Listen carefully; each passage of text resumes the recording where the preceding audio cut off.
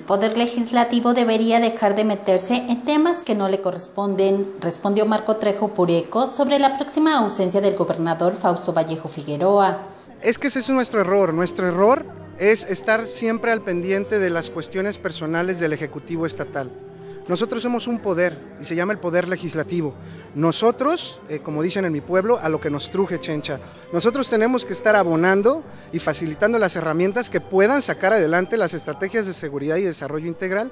El diputado priista consideró que el tema de la salud del mandatario michoacano no es algo a lo que se deben enfocar los legisladores, sino a la discusión de las leyes creo que el abonar o el estar eh, opinando acerca de la salud del gobernador, creo que es un tema que para tu servidor no tiene nada que ver. Lo que sí tiene que ver es cómo voy a formar, cómo voy a hacer, cómo voy a crear aquellas reformas en los artículos de, leyes eh, importantes que le beneficien a los michoacanos. A quienes piden una explicación y transparencia sobre ese tema, les pidió que comiencen con el ejemplo y transparente de igual forma su trabajo legislativo y qué han hecho por su estado. Dice aquellos que dicen que quieren y exigen eh, la transparencia o una explicación más concreta del tema de salud de, Fausto Vallejo, yo le digo a aquellos que por qué no empiezan a transparentar su trabajo legislativo. Invitó finalmente a sus compañeros del Poder Legislativo a que no pierdan el tiempo y se pongan a trabajar en temas que de verdad son importantes para Michoacán.